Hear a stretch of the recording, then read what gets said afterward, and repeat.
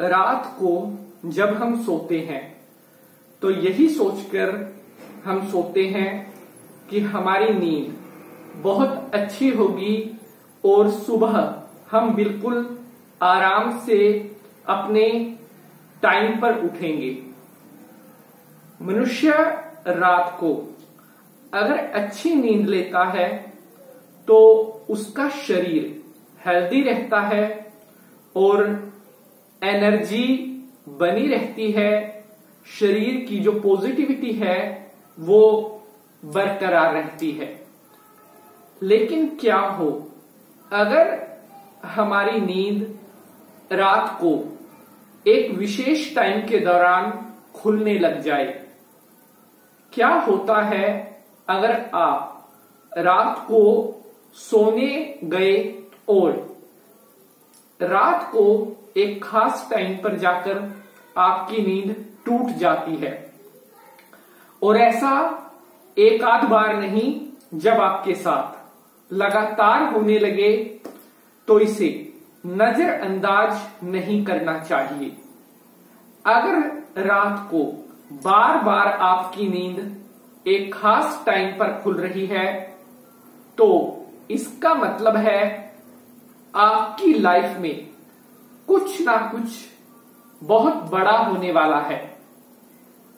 वो आपके साथ पॉजिटिव भी हो सकता है, वो नेगेटिव भी हो सकता है। वो डिपेंड करता है कि आपकी नींद रात को किस टाइम पर खुल रही है, किस विशेष टाइम के दौरान रात को आप बार बार जाग रहे हैं।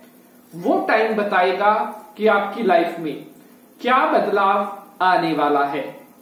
बहुत सारे भक्तों ने कमेंट करके हमसे पूछा था, गुरुजी, हमारे साथ पिछले काफ़ी दिनों से ऐसा हो रहा है कि एक खास टाइम पर जाकर हमारी नींद खुल रही है और उसके बाद दोबारा नींद भी नहीं आती। बहुत सारे भक्त चिंता में होते हैं कि, गुरुजी, हमारे साथ ऐसा क्यों हो रहा है और ये लगातार हमारे साथ हो रहा है। तो प्यारे दर्शकों, आज मैं आपको बताऊँगा कि अगर आपकी नींद रात को एक से दो बजे के बीच में खुल रही है तो इसका क्या कारण होता है? आपकी लाइफ के ऊपर इसका क्या असर होता है? और आपके आने वाले फ्यूचर में आपको इसके किस तरह के रिज़ल्ट मिलेंगे? बहुत इंपॉर्टेंट आज का ये एपिसोड होने वाला है। एपिसोड को आपने पूरा देखना है ताकि कोई भी इंपॉर्टेंट इंफॉर्मेशन आपसे मिस ना हो सके। तो चलिए शंकर भगवान को प्रणाम करते हुए आज के एपिसोड को स्टार्ट करते हैं। ओम त्र्यंबकम यजामहे सुगंधिम पुष्टिवर्धनम उर्वारुकमिव बंधनान् मृत्योरमोक्षे यमामृता बोले शंकर भगवान की जय। हर हर महादेव।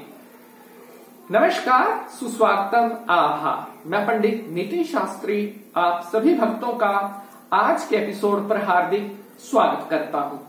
आशा करते हैं आप सभी स्वस्थ होंगे, मस्त होंगे और भगवान भोलेनाथ की कृपा आप सभी के ऊपर बनी रहे। जैसा कि आपने एपिसोड के टीजर में देखा है कि क्या आपकी नींद रात को एक से दो बजे के बीच में तो नहीं खुलती? तो हो जाइए सावधान। जी हाँ अगर इस टाइम के दौरान रात को बार बार आपकी नींद खुल रही है तो आपकी लाइफ में बहुत बड़ा कुछ बहुत जल्दी होने वाला है। एक से दो बजे का रात का जो एक टाइम पीरियड होता है, ये बहुत एक खास टाइम पीरियड होता है, एक ऐसा टाइम पीरियड होता है, इस टाइम के दौरान नींद का खुलना आपके लिए कई मायनों में बहुत ज़रूरी है जानना, बहुत आपके लिए आपकी लाइफ के ऊपर इसका बहुत बड़ा असर हो सकता है। अगर आपके साथ ऐसा हो रहा है तो आप समझ जाइए आपकी लाइफ में कुछ बड़ा होने वाला है। वो क्या है, आगे मैं आपको बताने वाला हूँ। ध्यान से एक एक बात को सुनना है, जल्दबाजी नहीं करनी है, अन्यथा बहुत बड़ी, बहुत महत्वपूर्ण जानकारी आपसे मिस हो सकती है। एपिसोड शेयर ज़रूर करें ताकि ज़्यादा से ज़्यादा भक्तों तक महत्वपूर्ण जानकारी पहुँच सके। तो प्यारे बंधुजनों, रात को एक से दो बजे के बीच में अगर आपकी नींद खुल रही है तो इसका मतलब है कि आप अपनी रियल लाइफ में किसी बात को लेकर बहुत ज़्यादा परेशान हैं? लगातार इस टाइम के दौरान अगर आपकी नींद टूट रही है तो आपको कोई चिंता सता रही है, आपको परिवार की हो सकती है, रिश्तेदारी की हो सकती है, आपकी कोई पर्सनल हो सकती है, पैसों से जुड़ी हुई कोई चीज़ हो सकती है कोई ना कोई टेंशन आपको ऐसी सता रही है जो हर टाइम आपका पीछा कर रही है। आपके माइंड में बहुत ज़्यादा चिंता घर कर रही है, जिसके कारण लगातार एक से दो बजे के बीच में आपकी नींद टूट रही है। ये सबसे बड़ा, पहला और सबसे मुख्य कारण है। दूसरा कारण, अगर आपकी नींद रात को एक से दो बजे के बीच में हर रोज खुल रही है, मान लीजिए एक दिन छोड़ के फिर खुल गई, फिर एक दिन छोड़ के फिर खुल गई, ऐसे लगातार अगर आपके साथ ये हो रहा है तो इसका मतलब है कि कहीं ना कहीं आप गुस्सा आपका काबू से बाहर हो रहा है। आपकी रियल लाइफ में कहीं ना कहीं आपके ऊपर गुस्सा हावी हो गया है।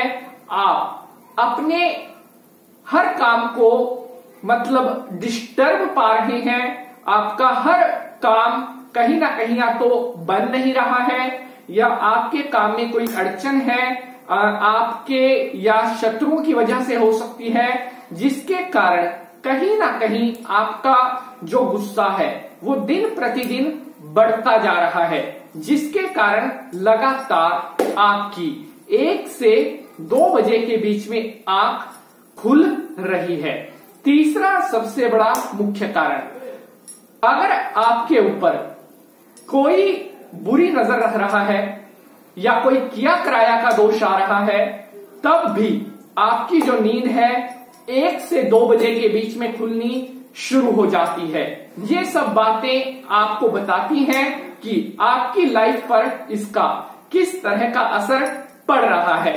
तो अगर आज का एपिसोड आपको अच्छा लगा है, इसे लाइक और शेयर ज़रूर करेंगे। आज के लिए बस इतना ही। जय माता की।